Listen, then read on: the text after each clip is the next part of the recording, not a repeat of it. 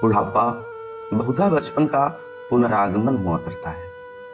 बूढ़ी काकी में जिहवा स्वाद के सिवा और कोई चेष्टा शेष ना थी और ना अपने कष्टों की ओर आकर्षित करने का, रोने के अतिरिक्त कोई दूसरा सहारा ही। समस्त इंद्रियाँ नेत्र, हाथ और पैर जवाब दे चुके थे। पृथ्वी पर पड़ी रहती और घर वाले कोई बात उनकी इच्छा के प्रतिकूल करते, भोजन का समय टल जाता या उसका परिणाम पूर्ण ना होता, अथवा बाज़ार से कोई वस्तु आती और ना मिलती तो रोने लगती थी। उनका रोना, सिसकना, साधारण रोना ना था। वे गला फाड़ फाड़ कर रोती थी। उनके पतिदेव को स्वर्ग सिधारे कालांतर हो चुका था। बेटे तरुण हो होकर चल बसे थे।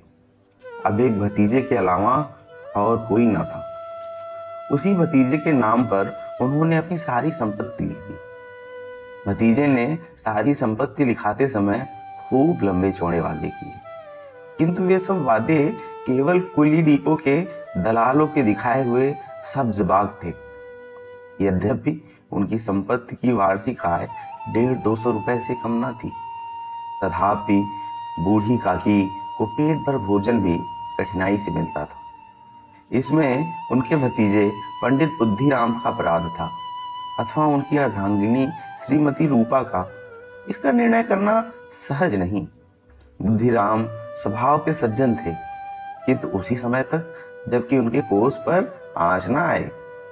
रूपा स्वभाव से तीव्र से ही पर ईश्वर से डरती थी। अतएव बूढ़ी काकी को उसकी तीव्रता उतनी ना खलती थी जितनी बुद्धिराम की बर्मन साहस। बुद्धिराम को कभी कभी अपने अत्याचार का खेद होता था।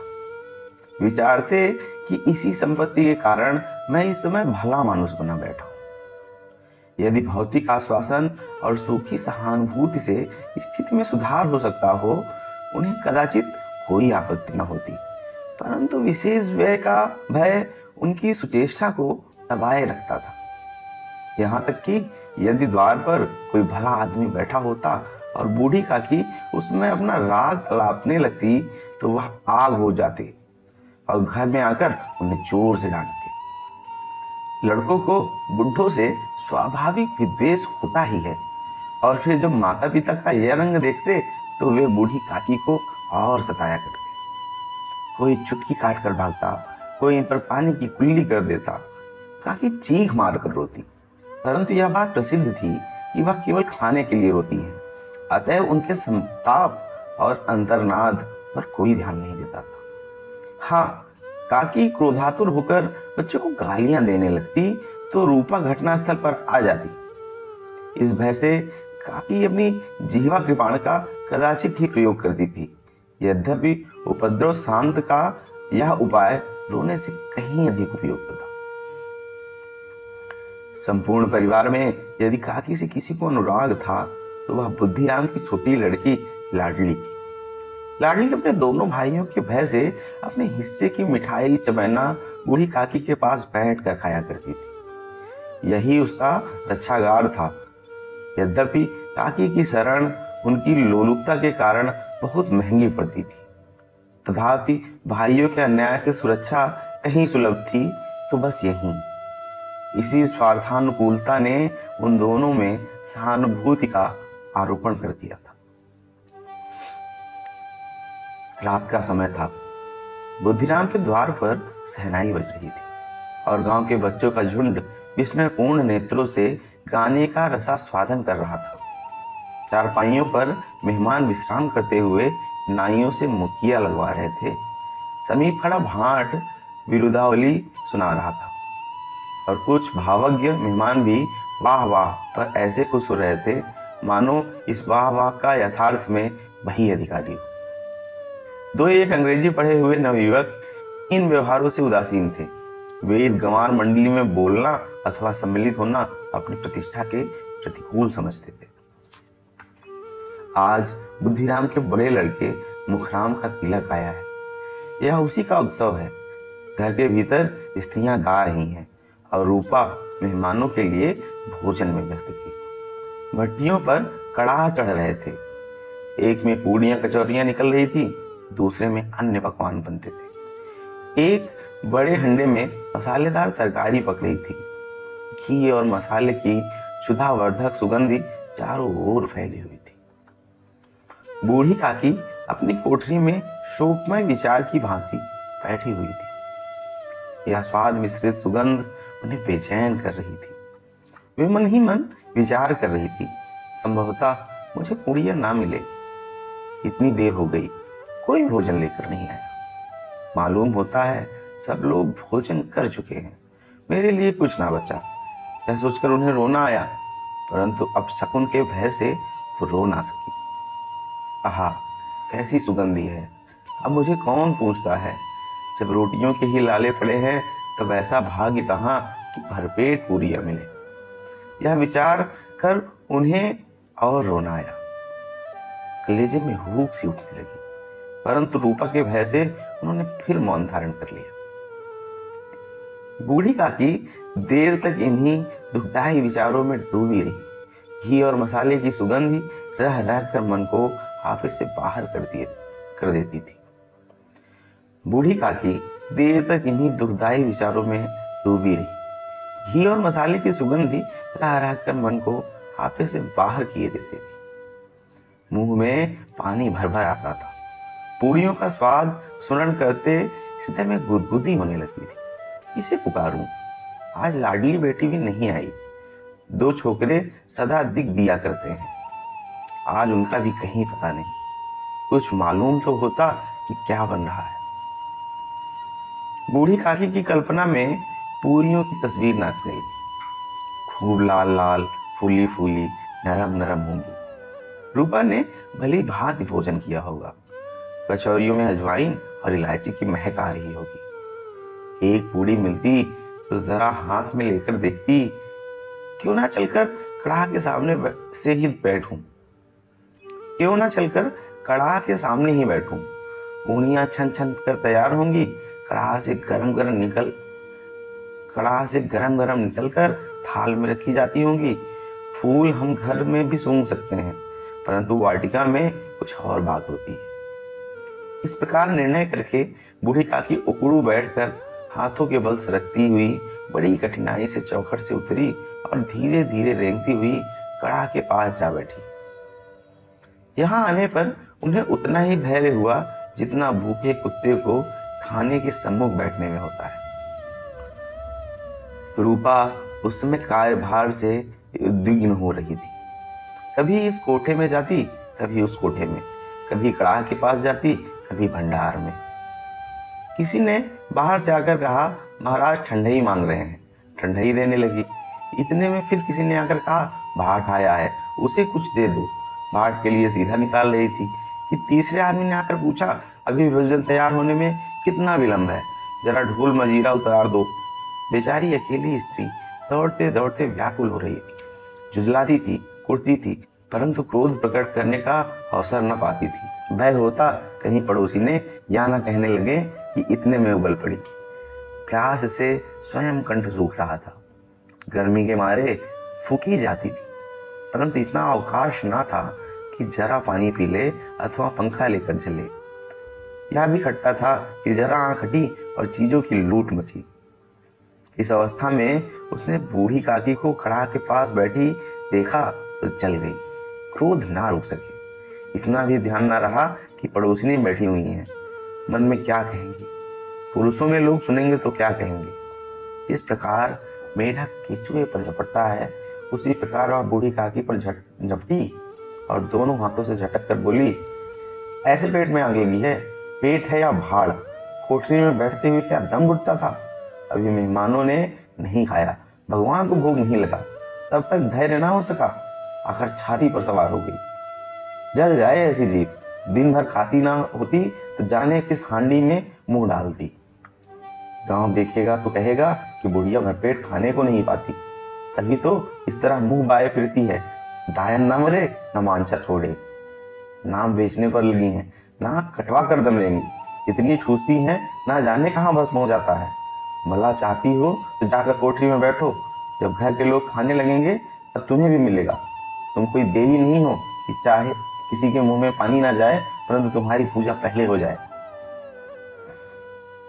बूढ़ी काकी ने सिर उठाया, न रोई, न बोली। चुपचाप रेंगती हुई अपनी कोठरी में चली गई। आवाज़ ऐसी कठोर थी कि हृदय और मस्तिष्क की संपूर्ण शक्तियाँ, संपूर्ण विचार और संपूर्ण भार उसी ओर आकर्षित हो गए थे।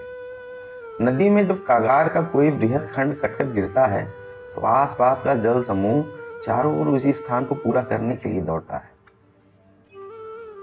भोजन तैयार हो गया है। आँगन में पत्तले पड़ गई। मेहमान खाने लगे। स्त्रियों ने जीवनार गीत गाना आरंभ कर दिया।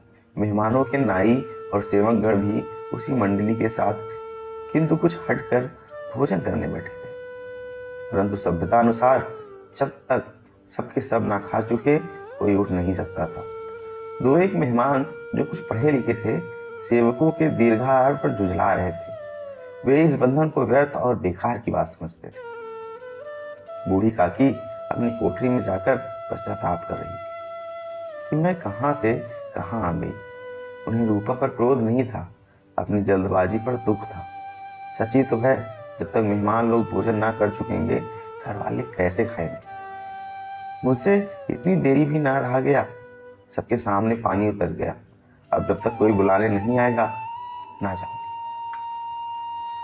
मन ही मन इस प्रकार का विचार करते वह बुलाने की प्रतीक्षा करने लगी। परंतु घी की रुचिकर सुहास बड़ी धैर्य, प्रतीक्षक प्रतीत हो रही थी। उन्हें एक एक पल एक एक युग के समान मालूम होता था। अब पत्थर बिछ गई होगी। अब मेहमान आ गए होंगे। लोग हाथ पैर धो रहे हैं नाई पानी दे रहा है। मालूम होता है लोग खाने बैठ गए। जवनार गाया जा रहा है।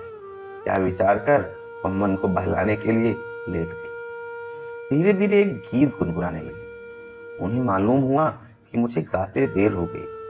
क्या इतनी देर तक लोग भोजन कर ही रहे होंगे? किसी की आवाज़ सुनाई नहीं देती। अवश्य ही लोग खा पीकर चले गए। मुझे कोई बुलाने नहीं आया। रूपा चिढ़ गई है। क्या जाने? ना बुलाए। सोचती हो कि आप ही आवेंगी, और कोई मेहमान तो नहीं जो उन्हें बुलाऊं। बूढ़ी काकी चलने को तैयार हुई। यह विश्वास कि एक मिनट में पूड़ियाँ और मसालेदार तरकारियाँ सामने आएँगी उनकी स्वादेंद्रियों को खुदकुदाने लगा।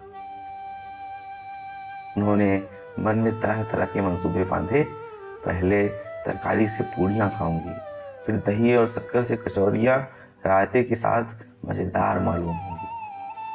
चाहे कोई बुरा माने, चाहे भला, मैं तो मांग मांग कर खाऊँगी। यही ना लोग कहेंगे, इन्हें विचार नहीं। कहाँ करे? इतने दिनों बाद पूड़ियाँ मिल रही हैं तो थोड़ा मुँह जूठा करके थोड़ी ही उठ जाऊँगी। वह बैठकर सरकते हुए आँगन में आई परंतु हाय, दुर्भाग्य। अभिलाषा ने अपने पुराने स्वभाव के अनुसार समय की मिथ्या कल्पना की थी। मेहमान मंडली अभी बैठी हुई। थी कोई खाकरों उंगलियाँ चाटता था, कोई तिरछे नेत्रों से देखता था और लोग अभी खा रहे थे। या नहीं, कोई चिंता में था कि पत्तल पर पूनियाँ छूट जाती हैं, किसी तरह इन्हें भी भीतर रख लेता।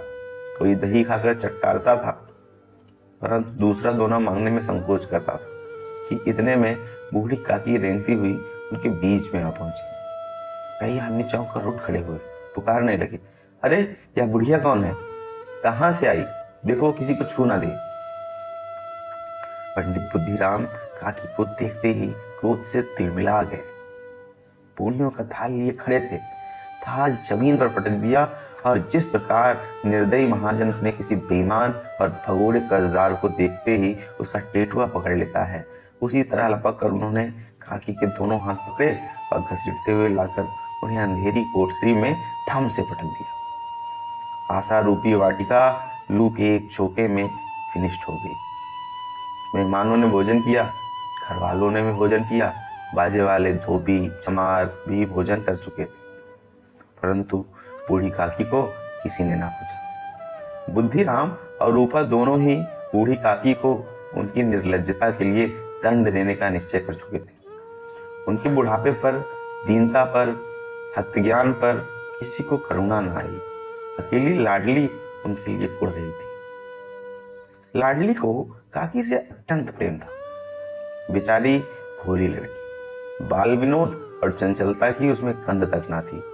दोनों बार जब उसके माता पिता ने काकी को निर्दयता से घसीटा तो लाली का हृदय हैंट कर रह वह झुझला रही थी कि हम लोग काकी को क्यों बहुत सी पूड़ियाँ नहीं दे देते? क्या मेहमान सबकी सब खा जाएँगे? और यदि काकी ने मेहमानों से पहले खा लिया तो क्या बिगड़ जाएगा? वह काकी के पास जाकर उन्हें धैर्य देना चाहती थी, परंतु माता के भय से ना जाती थी। उसने अपने हिस्से की पूड़ियाँ बिल्कुल ना खाई थी। अपनी गुड़िया की पिटारी में बंद कर रखती थी। उन पूड़ियों को काकी के पास ले जाना चाहती थी। उसका हृदय अधीर हो रहा था। बूढ़ी काकी मेरी बात सुनते ही उठ बैठेंगी। पूड़िया देखकर कैसी प्रसन्न होंगी। मुझे खूब प्यार करेंगी। रात को ग्यारह बज गए थे। रूपा आँगन में पड़ी सो रही थी। लाडली की आँखों में नींद ना आती थी। काकी को पूड़ियाँ खिलाने की खुशी उसे सोने ना देती थी। उसने कुड़ियों की पिटारी सामने रखी। जब विश्वास हो गया कि अम्मा सो रही है तो वह चुपके से उठी और विचारने लगी, कैसे चलूँ? चारों ओर अंधेरा था, केवल चूल्हे में आग चमक रही थी और चूल्हों के पास एक कुत्ता लेटा हुआ था। लाडली की दृष्टि सामने वाली नींव पर गई। उसे मालूम हुआ कि उस पर हनुमान जी बैठे हुए हैं। उनकी पूंछ, उनकी गदा स्पष्ट दिखाई दे रही थी। मारे भय के उसने आँखें बंद कर ली। इतने में कुत्ता उठ बैठा। लाडली को ढाढ़स हुआ कई सोए हुए मनुष्य के बदले एक भागता हुआ कुत्ता उसके लिए अधिक धैर्य का कारण हुआ। उसने पिटारी उठाई और बूढ़ी काकी की कोठरी की ओर चली। बूढ़ी काकी को केवल इतना स्मरण था कि किसी ने मेरा हाथ पकड़कर घसीटे। फिर ऐसे मालूम हुआ कि जैसे कोई पहाड़ पर उड़ाया लिया जाता है। उसने के पैर बार बार पत्थरों से टकराए। जब तक किसी ने उसे पहाड़ पर से पटका, वह मूर्छित हो गई। जब वह सचेत हुई तो किसी की जरा भी आहट न मिली। समझी, सब लोग खा पी कर सो गए और उसके साथ मेरी तकदीर भी सो गई। रात कैसे कटेगी राम, क्या खाऊं पेट में अग्नि धड़क रही है। हाँ किसी ने मेरी सुधि ना ली। क्या मेरा पेट काटने से धन जुड़ जाएगा। इन लोगों को इतनी भी दया नहीं आती कि ना जाने बुढ़िया कम मर जाए उसका जी क्यों दुखावे? मैं पेट की रोटियाँ ही खाती हूँ कि और कुछ? इस पर यह हाल? मैं अंधी अपाहिज ठहरी, ना कुछ सुनूं, ना बूझूं। यदि आँगन में चली गई तो क्या बुद्धिराम से इतना कहते ना बनता ताकि अभी लोग खाना खा रहे हैं? फिर आना। मुझे घसीटा, पटका। उन्हीं पूड़ियों के लिए रूपा ने सबके सामने गालियाँ दी। उन्हीं पूड़ियों के लिए इतनी दुर्गति करने पर भी उनका पत्थर का कलेजा ना पसीजा। सबको खिलाया, मेरी बात तक ना पूछी। जब तब ही ना दी तो अब क्या देगी? यह विचार कर काकी निराश में संतोष के साथ लेट गई। क्लानी से गला भर आया था, परंतु मेहमानों के भय से रोती ना थी। सहसा कानों में आवाज़ आई, काकी, उठो, मैं पूरिया लाई काकी ने लाडली की बोली पहचानी। झटपट उठी। दोनों हाथे से लाडली को टटोला और गोद में बिठा लिया। लाडली ने पूरियाँ निकाल कर काकी ने पूछा, क्या तुम्हारी अम्मा ने दी है? लाडली ने कहा, नहीं, क्या मेरे हिस्से की काकी पूड़ियों पर टूट पड़ी। पाँच मिनट में पिटारी खाली हो गई। लाडली ने पूछा, काकी पेट भर गया? जैसे थोड़ी सी वर्षा ठंडक के स्थान पर और गर्मी पैदा कर देती है। उस भांति इन दोनों पूरियों ने काकी की क्षुधा और इच्छा को और उत्तेजित कर दिया था।